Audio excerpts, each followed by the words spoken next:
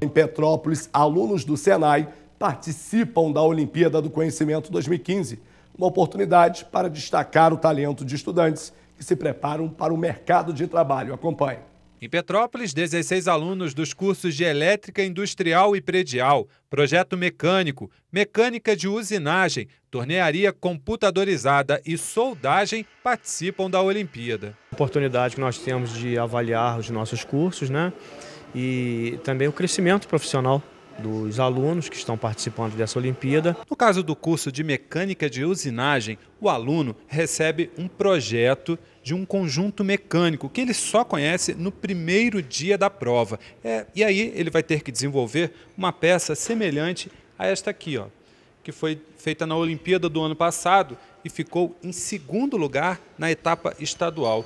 Luiz, o que vocês levam em consideração para avaliar o aluno?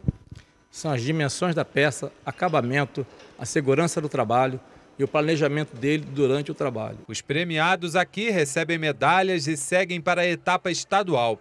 De lá para a nacional e podem chegar a disputar até mesmo a Olimpíada Mundial. Mas para estes alunos, o maior prêmio será colher no futuro o sucesso profissional. Foi difícil chegar até aí? Muito difícil. Suação, me queimando, esverilhando, mão doendo. Mas tudo, no final vale a pena. Tudo no final vale a pena.